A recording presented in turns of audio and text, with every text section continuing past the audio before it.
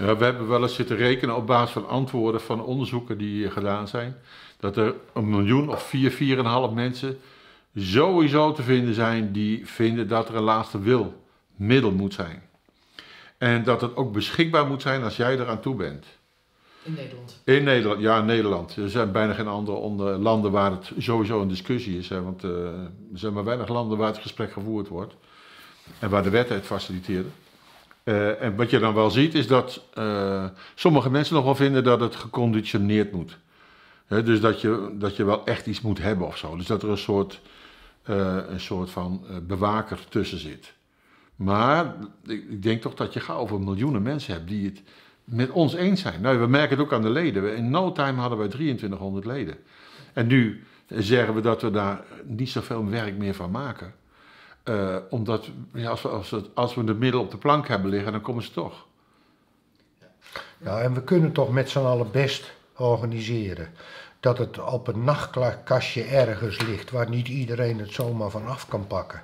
Dus dat je kleinkind denkt van, hé, hey, laat ik dat snoepje eens proberen.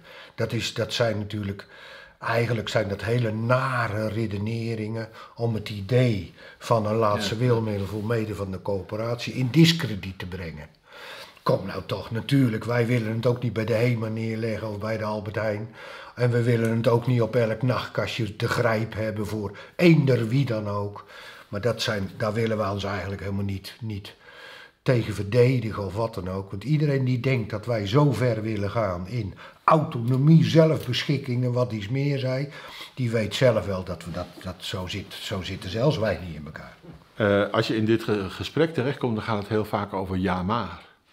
Dus uh, je kan zeggen van nou, we hebben, uh, we hebben een middel en dat willen we beschikbaar hebben. En dan zeggen mensen ja maar. Als het zo makkelijk zal gaan, uh, wat let je dan nog om bij je schoonmoeder in de koffie te gooien? Wat let je nou? En dan, dan gaan mensen het hebben over een hellend vlak. Zo van ja, als het zo makkelijk is, dan zou je.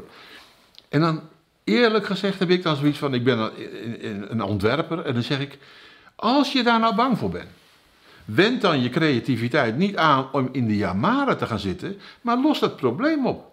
Dus als het heel makkelijk in de koffie op te lossen is, maak er een grote paarse pil van die bruist. Of maak hem zodanig dat je met verschillende uh, tussenstappen te maken hebt. De ene keer dat en vier uur later iets anders. Uh, maar ga niet, ga niet al de creativiteit aanwenden om het niet te doen, maar om het wel te doen. Want we willen graag dat het er komt. Er zijn miljoenen mensen die graag willen dat het er komt. Dan laten we dan zorgen dat het er komt. Ja, en Jos, alleen voor de mensen die dat willen, hè? Ja, alleen voor Dus de mensen die het niet willen, verplichten wij toch ook niet Nee. om het te willen? Nee. Helemaal niet. Nee.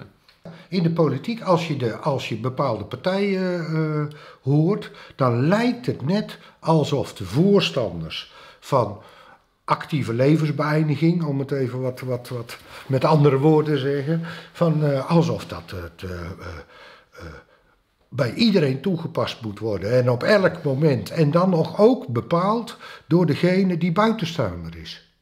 Nee, natuurlijk willen we dat niet.